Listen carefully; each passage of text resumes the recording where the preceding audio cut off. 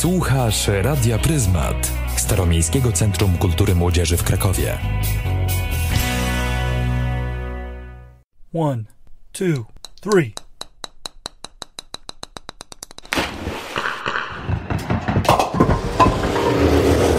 Sportowa energia.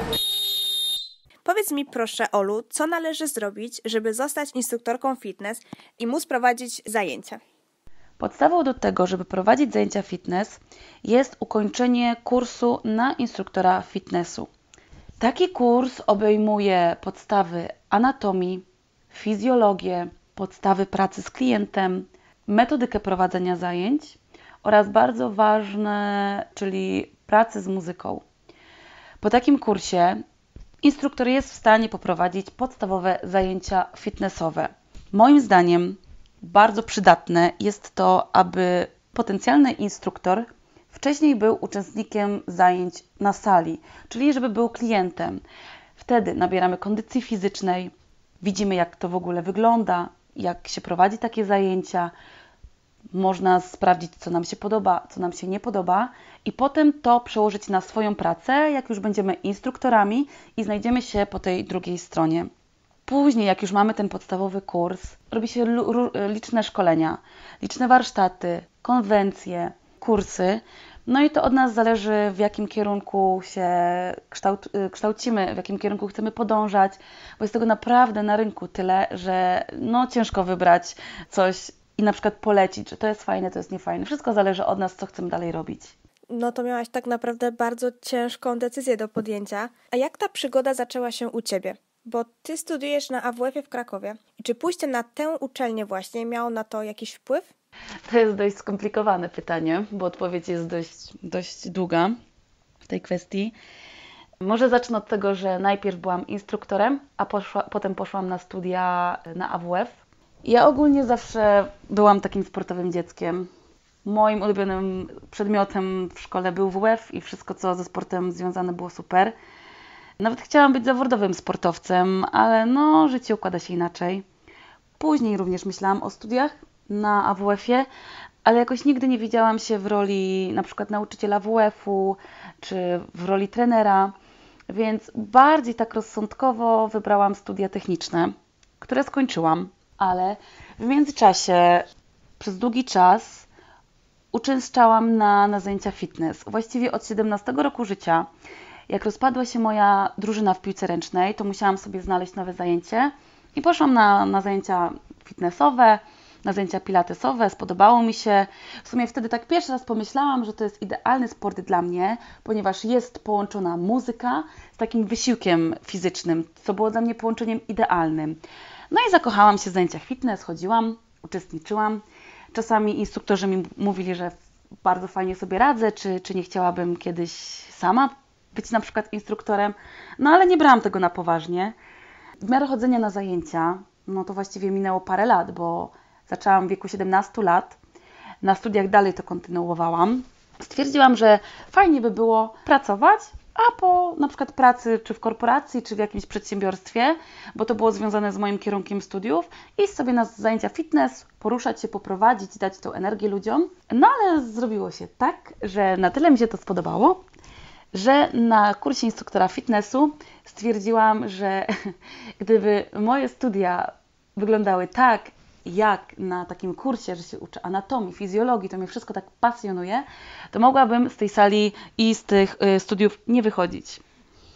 No i wtedy postanowiłam, że chciałabym jednak w tym kierunku podążać, że nagle odnalazłam zainteresowanie w fizjoterapii, która wcześniej wydawała mi się troszkę jakby nie, że innym kierunkiem, ale nie miałam takiego, takiej świadomości, na czym to dokładnie polega. No ale przez to, że fizjoterapia byłaby moim drugim kierunkiem podczas studiowania, a drugi kierunek był płatny, no to niestety nie zabrałam się za studiowanie fizjo. Poszłam dopiero na fizjo, jak skończyłam swój pierwszy kierunek, czyli po pięciu latach. Stwierdziłam, że spróbuję, nic mi to nie szkodzi. Praca jako instruktor i studia bardzo ze sobą się łączyły, zazębiały.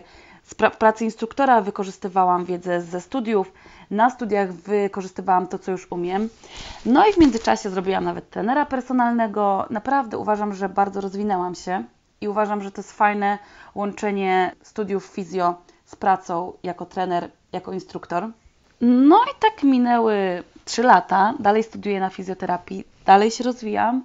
No i cóż mogę powiedzieć, że czasami warto zmienić swój kierunek, swoją drogę, faktycznie pod kątem tego, co lubimy, co chcemy robić w przyszłości i nie zrażać się do tego, że jeszcze długa droga przed nami. Zaczynamy od początku. Myślę, że jeżeli to wychodzi z pasji, z zainteresowań, to naprawdę warto. Z tego co wiem, wiele osób boi się iść na takie zajęcia grupowe, na zajęcia fitness z różnych względów. I jakie są przeciwwskazania, jeśli chodzi o uczestnictwo w zajęciach, które ty prowadzisz? Jeśli chodzi o mm, przeciwwskazania, no to oczywiste jest, że na salę fitness przyjdzie nam osoba, która raczej czuje się dobrze, nic jej nie dolega na co dzień, nie chodzi do lekarza, bo nie chciałabym mówić o takich rzeczach, które są oczywiste, na przykład y, totalnym przeciwwskazaniem jest, nie wiem, choroba nowotworowa, jakieś zapalenie, niewydolność oddechowa, zaburzenia krążenia. O tym nie mówię, no bo jeżeli osoba jest pod kontrolą lekarza, to ona nie przyjdzie nam na salę fitness. Natomiast mogę wyróżnić trzy takie grupy ryzyka, na które w szczególności musimy zwrócić uwagę. Są to kobiety w ciąży, są to osoby z nadwagą i osoby starsze. Te osoby, nie, mówię o tym, że one są wykluczone z zajęć, ale musimy na nie zwrócić szczególną uwagę. Na przykład kobiety w ciąży to jest e, świetny klient, jeśli chodzi o zajęcia pilates, a nawet lekkie wzmacniające ćwiczenia. Pod warunkiem, że kobieta jest zdrowa, że kobieta jest już w drugim trymestrze ciąży, że ma zgodę od lekarza i że czuje się dobrze. Na przykład osoba z nadwagą nie pójdzie nam na zajęcia, na których się skacze, ponieważ jej stawy są obciążone, ona wtedy może odczuwać dolegliwości bólowe, ale na wszystkie inne zajęcia w umiarkowanym tempie jak najbardziej taka osoba straci tkankę tłuszczową, poprawi swoją wydolność. Tak samo z osobami starszymi. Nie są one wykluczone z zajęć, ale też niech dobiorą pod siebie zajęcia. Takie osoby mają troszkę słabsze kości, są na przykład mniej skoordynowane. Także jeżeli wybierzemy odpowiednie zajęcia do swoich możliwości, nie widzę takich przeciwwskazań dla osób ogólnie nazywanych zdrowymi. Oprócz tego, że jesteś świetną instruktorką zajęć fitness i czasami prowadzisz dość spore grupy osób na sali, ty postanowiłaś ruszyć troszkę w inną drogę, natomiast zostać dalej w sporcie. Zajęłaś się mianowicie treningami personalnymi. Czy zajęcia grupowe, takie zajęcia fitness, wpływają w równym stopniu na naszą sylwetkę co treningi na siłowni? Między zajęciami fitnessowymi a z treningiem na siłowni jest znaczna różnica. Na początek chciałabym jednak sprecyzować, co mamy na myśli, jeżeli mówimy trening na siłowni.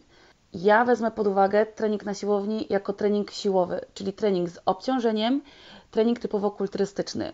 Przez to, że jest, jestem też trenerem personalnym, jestem w stanie to porównać, bo na siłowni robimy inne treningi. Dlatego chciałabym dokładnie sprecyzować, że mówimy konkretnie o treningu z dużym obciążeniem.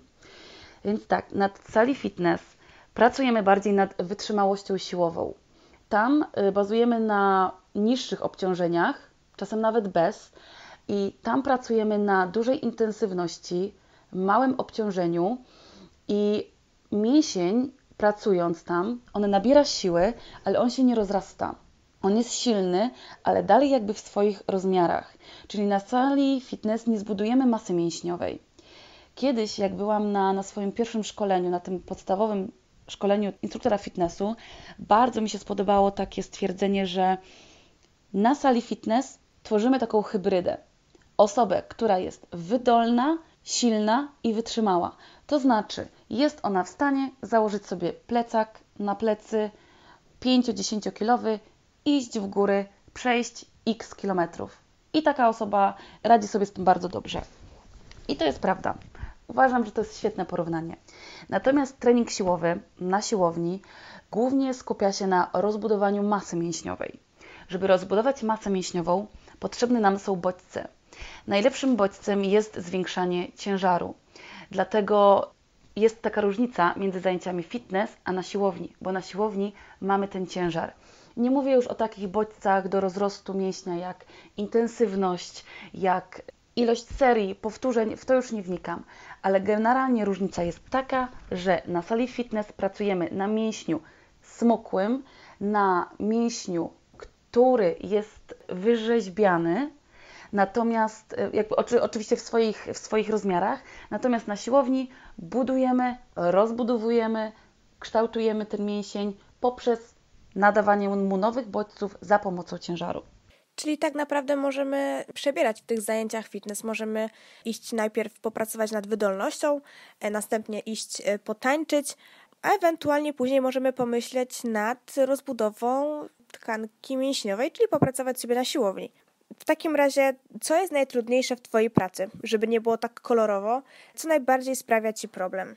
To zależy, bo inne problemy miałam na początku, a inne mam teraz. Jeśli chodzi o początek prowadzenia przeze mnie zajęć, myślę, że takim największym problemem dla mnie było wyjść przed ludzi i nagle mówić im, co oni mają robić. Bo ja z natury nienawidzę występować publicznie i szczerze powiedziawszy, tylko to, że tak kocham sport i to naprawdę jest moja duża pasja, to przełamałam się do tego, żeby występować przed ludźmi. I faktycznie, jak już wchodzę w ćwiczenia, wchodzę y, w zajęcia, to ten stres mija. Teraz już się tak nie stresuję, ale początki były naprawdę trudne. I co było najtrudniejsze na początku, to stworzenie takiej jednostki dla mnie treningowej, ponieważ zajęcia fitness charakteryzują się tym, że wszystko musimy robić do muzyki. Nie ma tam stania, zastanawiania się, co teraz, jak to zrobić, tylko nie dość, że muzyka leci, my ją musimy słuchać, robić wszystko w tempie, musimy pomyśleć 2-3 sekundy wcześniej, co my chcemy zrobić, jeszcze to pokazać, a tak naprawdę robimy coś innego. Więc po moich zajęciach pierwszych, takich fitnessowych, gdzie prowadziłam, wychodziłam bardziej zmęczona psychicznie niż fizycznie. Naprawdę przez pierwszy rok, półtorej siedziałam z kartką, układałam zajęcia, ćwiczyłam godzinami to, jak to ma wyglądać. Teraz się z tego śmieję, bo przychodzi mi to naturalnie, nawet o tym nie myślę. Nie zdarza mi się iść na zajęcia nieprzygotowaną, ale układanie zajęć przeze mnie to jest kilka, na, kilka, kilka, kilkanaście minut przed zajęciami w głowie, schemat, robię to, tamto. Wszystko kwestia doświadczenia.